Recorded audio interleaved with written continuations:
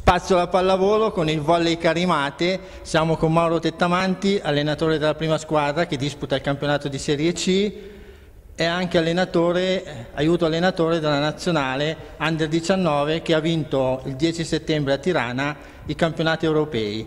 Com'è vincere un, un, europeo e una medaglia d'oro? Eh, sì, direi che è stato proprio emozionante dalla, dalla prima palla all'ultima che è caduta, quindi è un sapore eh, dove veramente è stato diverso rispetto a una, una, diciamo, un'esperienza normale di, di, club perché è tutto condensato in due mesi e poi sentire appunto l'inno nazionale ogni volta è qualcosa di indescrivibile. Facciamo vedere, bellissima, una medaglia d'oro conquistata da Mauro. Sudata insieme allo staff numeroso, alle ragazze, sì.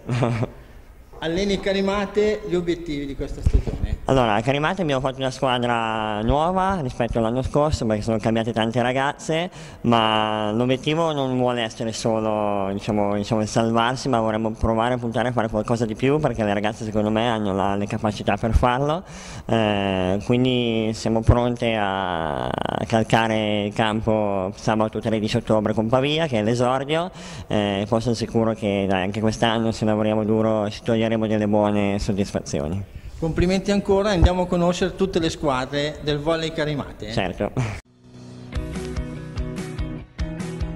Ecco il mini volley.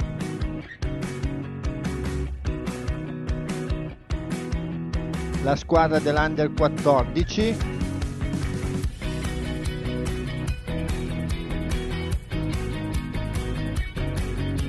Il gruppo dell'Under 16.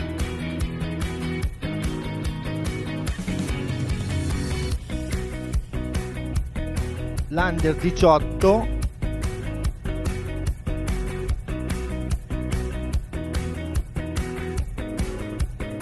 la squadra della seconda divisione